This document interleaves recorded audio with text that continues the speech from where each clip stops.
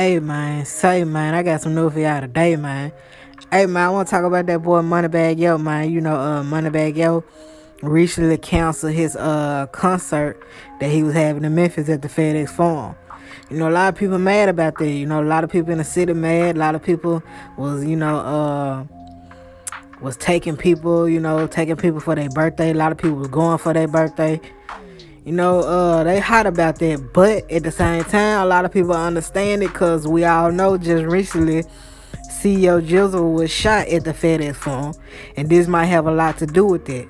You know, um, this one reason why you know a lot of people was saying that man Jizzle getting shot at the Forum and the security lane, whoever get in with that gun, just messed up a lot because it was a lot of artists from Memphis that was performing at the FedEx Forum before this happened.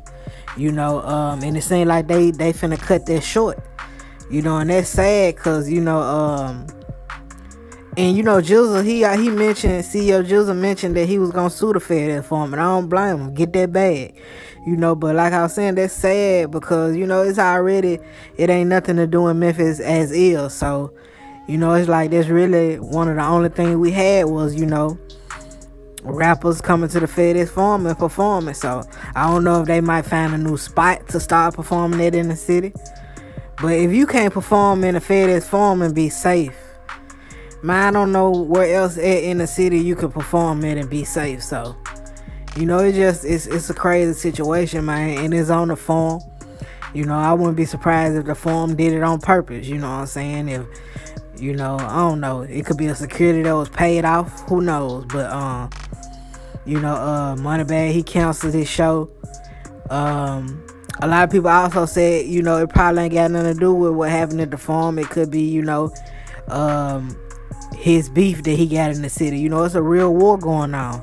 You know, a lot of artists, you know, they'll uh, cancel their uh, shows and make it seem like that it was the it was the venue that did it, but it really was the artist that did it. You know what I'm saying? And you know, a lot of people think that he did it because of his beef that he got going on. You know, maybe he trying to stay safe or whatever. Me personally, I don't think that got nothing to do with it. Or he could have looked at it and be like, man, if Jizzle was able to get shot, you know, by his ops in the Forum, then something probably could happen to me in the Forum. Who knows? He could be moving smart. Who knows? Me personally, I, I think it was the Forum.